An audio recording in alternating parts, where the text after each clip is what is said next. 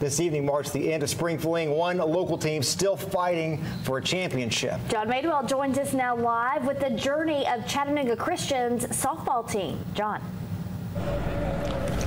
Well, attrition, Josh, you see behind us right now, this is Bradley Central's baseball team. They're warming up. They will play for a state title in about 30 minutes here at Middle Tennessee State. Now, earlier today, Chattanooga Christian fell just short of a softball championship in their quest for that. But with this heartbreaking loss, it has brought the team even closer. Chattanooga Christian knew they had to bounce back against Kings Academy, a team that beat CCS by 15 runs last night. Kings Academy jumped on the board first in the second inning. They added another run in the third off a sac fly. But in the fourth, CCS's Lauren Day hits a fielder's choice. Savannah Ricketts scored to cut the lead in half, but the Lady Chargers left several runners on the bases in the 3 1 loss. Every inning, a chance to win that ball game.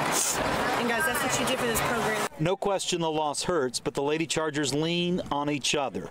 They accept the runner-up trophy with broken hearts. My players just played with all heart today, and they just left everything on the field. That's all I can ever ask. I'll look at it as like a, a learning moment. Um, this is where your response is crucial. Most teams call themselves family, but Chattanooga Christian truly is.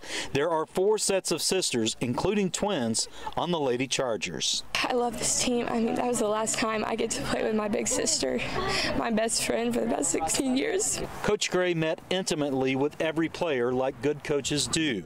She left her seniors with a message. Created a culture here that we're going to keep going. This has been a special team, and we're, we're teammates for the rest of our lives.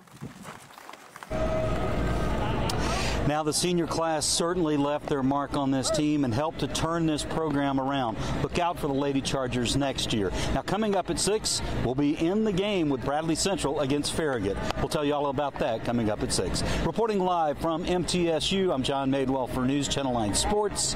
Now, back to you guys. All right, thank you, John. Lots of success at the Spring Fling. Here's a look at the teams that won. You can see the five teams on your screen there, and a look at the individual champions, a total of six from our area. Keep in mind, smaller schools are still competing in track.